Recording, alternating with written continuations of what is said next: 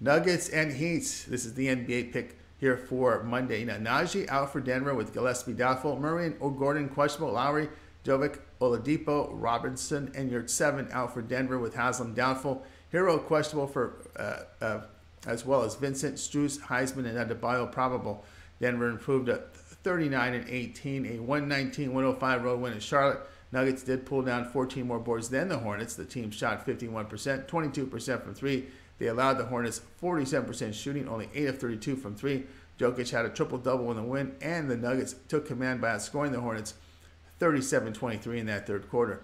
Nuggets have lost 4 of 6, though, on the road, shooting only 31% from three, high turnovers as well.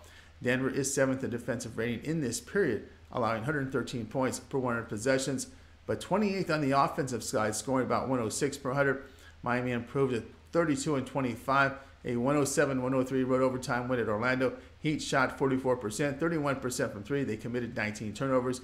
They did limit the Magic to 43% shooting, 38% from three, and they forced 18 turnovers. Of course, Miami did overcome a 17-point deficit. They were on a back-to-back, giving Orlando a rest advantage.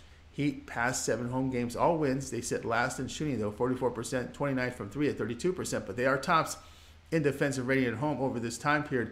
They're giving up just 104 points per 100 possessions while scoring 110 per 100. Player will be on Miami at minus one.